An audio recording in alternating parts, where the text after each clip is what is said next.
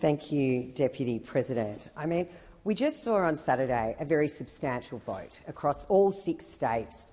Australians come out and say no. And one of the reasons they came out and said no was during the course of this debate, it has been dripping with sanctimony, it has been dripping with a sense of superiority, it has been absolutely condescending to Australians as they have been insulted.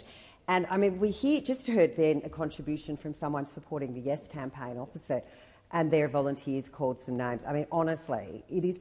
It's like they look in a mirror and they try and deflect because I can tell you what uh, a sporting hero who goes out there, an Indigenous former sporting hero who's been very vocal on his support for the Yes campaign, uh, walked past one of our elderly women, who actually happens to be Jewish as well, and caused her the most, called her the most vile racist names as she was working on a pre-poll booth in the eastern suburbs of Sydney. It is absolutely appalling, the abuse that's been seen in this country, but I can tell you the abuse has come from one side and one side only, and that was the side of the Yes campaign. And we know why. We know why that 39 per cent of Australians said yes and 61 per cent of Australians said absolutely not. I will not be spoken to that way. I will not be treated that way. I am a smart Australian who knows that we are better together than divided by race. I am a smart Australian who wants our country to be a better place for all Australians, not just provide a select voice for some and we are not racist, those who voted no.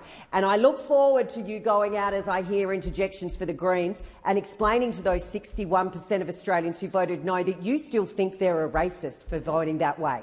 Go on and tell them.